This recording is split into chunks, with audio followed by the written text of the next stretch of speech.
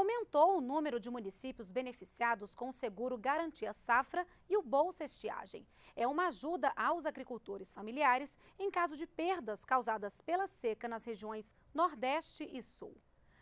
A repórter Daniela Almeida está com o ministro do Desenvolvimento Agrário e, ao vivo, tem as informações. Daniela, boa noite.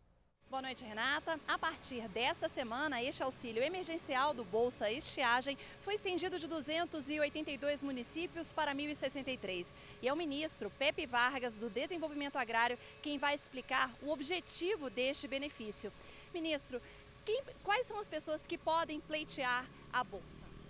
São os agricultores familiares, produzem até propriedades de quatro módulos fiscais, que estejam inscritos no cadastro único uh, de programas sociais do governo federal e que tenham renda até dois salários mínimos.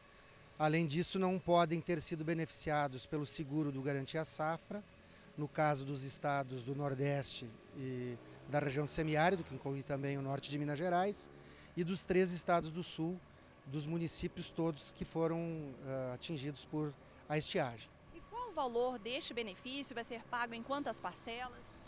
O benefício do Bolsa Estiagem é um benefício no valor de 400 reais, pago em cinco parcelas. E pode ser feito o saque em qual cartão? No Bolsa Família, por exemplo? Se é beneficiário do Bolsa Família, ele faz o saque, uh, vai receber no cartão uh, do Bolsa Família. O senhor pode explicar para a gente a diferença entre o seguro Garantia Safra? Bom, o Garantia Safra é um seguro de cobertura climática, digamos assim, onde tem adesão do agricultor, do município, do estado. Uh, e ele se houver uma perda uh, decorrente de uma seca ou de qualquer outra adversidade climática, acima de 50% da produtividade daquele município, então o agricultor faz jus ao recebimento do Garantia Safra. Uh, no caso do seguro da agricultura familiar, que é no sul, o modelo é diferente. Né? Ele contrai o crédito do Pronaf e junto com isso o seguro. Então no sul do país ele faz jus ao, ao, ao Estiagem se ele não recebe o seguro da agricultura familiar. Na região de semiárido, ele faz jus ao, ao, ao, ao Bolsa Estiagem se ele não recebe o Garantia Safra. Essa é basicamente a diferença. Ministro, como as prefeituras podem auxiliar essas famílias de agricultores? De agricultores? De certa forma já estão auxiliando, porque veja bem, quem faz a inscrição no cadastro único uh, é, o, é o município.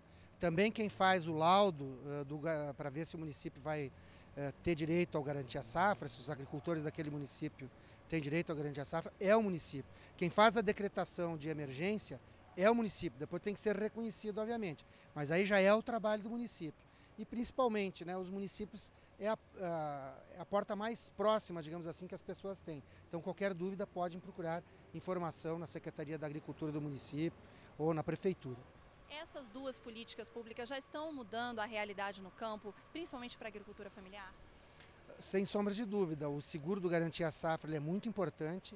Uh, Para teres uma ideia, nós temos mais de 700 mil famílias de agricultores familiares com cobertura no Garantia Safra, não quer dizer que todas precisarão, precisarão receber, tem casos em que não houve estiagem, então não vão receber, mas o importante é que tem mais de 700 mil famílias né, que têm a cobertura do Garantia Safra, então é uma garantia se eventualmente houver uma diversidade climática, essas pessoas terão essa renda que o Garantia Safra viabiliza. Muito obrigada por sua entrevista, ministro. Mais informações sobre a Bolsa Estiagem e também sobre o Garantia Safra estão disponíveis no site do Ministério do Desenvolvimento Agrário, que você vê aqui no vídeo.